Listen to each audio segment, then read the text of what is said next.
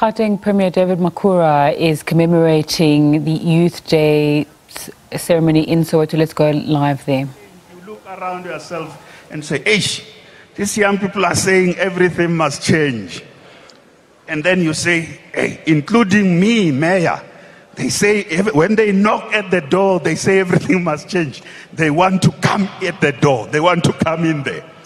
So it's, it's absolutely important. So today we carry, we, we, we, we move forward with an acknowledgement about the centrality of the role of young people. And we say that you have, we want to mobilize this energy. We want to mobilize this potential and translate it into a force of changing the current situation.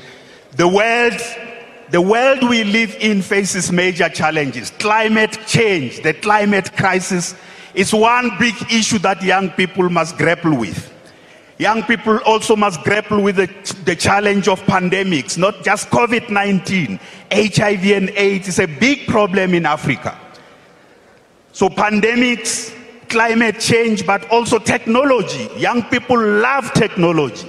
But if you don't have access to technology, if you don't have data, and young people love data, if you don't have access to the infrastructure of this technology, the fourth industrial revolution becomes something that others talk about, but you don't have access to it. Technology empowers, but it can also disempower if you don't have access to it. So young people are also grappling with those challenges. Young people are affected by conflict and wars. We live in a world where, and in a continent where conflict and wars continue to disrupt development in the different parts of our continent. We know the Russia Ukraine war has a huge impact. The future is youth. Who are the people most affected by this conflict? Conflict disrupts dreams. Even the greatest dreams get disrupted by conflict. That's why, as a country, we don't want to, to join this side or that side in wars. We refuse because development can only happen where there's peace. And we don't want to be forced into a war of which we really, really don't want to be part of. Because in every war, the people who suffer are ordinary people. They are ordinary people. The children of working class people are the ones who die in war. The infrastructure destroyed when, if there's war, as you see, people who die in the war are ordinary people and they, all their investments and everything, the public infrastructure destroyed in every war. So South Africa refuses, as a matter of principle, to be drawn in that Ukraine, Russia-Ukraine war. We refuse, we want peace. Everywhere our attitude is that there must be a peaceful negotiation of every conflict.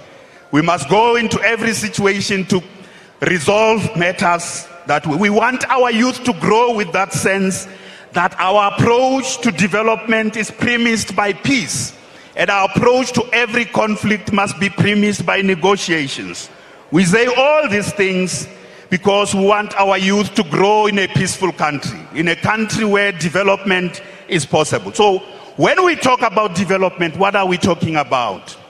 So, let me say today, on this Youth Day, the 46th anniversary, in which we celebrate also the 30th anniversary of Sarafina, is a special day for us. We are unveiling the Gauteng Integrated Youth Development Strategy 2030. The Gauteng Integrated Youth Development Strategy 2030. We have had youth development strategies so far. We have been reviewing them. We have been reviewing them. We have had youth development interventions. We have looked at how TSHEPO 1 million has done. There are many young people who say it helped us, but there are also many young people who say it's not reached us. We, have, we, have, we are rolling out the Presidential Youth Employment Initiative.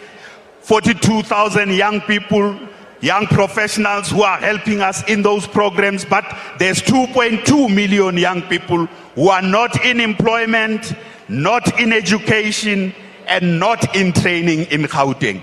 2.2 million young people in Gauteng are not in employment, are not in education, and are not in training. That's our biggest challenge. But we, there's 3 million young people in Gauteng. So think of the 2.2 million I'm coming to. They are our, our principal focus. We have another 3 million young people who are in basic education. About 2.7 million of them are in basic education. And then there's other young people, another 300,000 or so, who are in further education and in higher education. So we have, we have 3 million young people who are engaged at the moment.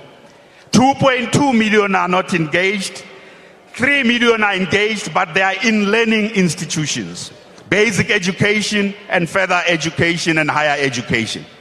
And then we've got another, another 2 million young people who are engaged. Those are in employment, others are in business, and they are doing things that are, they find very helpful. So where is the biggest problem? If we're talking about tackle, tackling the problem, firstly, we must consolidate educational outcomes. So these young people, the three million young people who are in, including you, lona le leng mona, le leng ko. Eh. We don't just want to send you to school because we have nothing we have nothing for you to do. We are not sending you to school to get rid of you.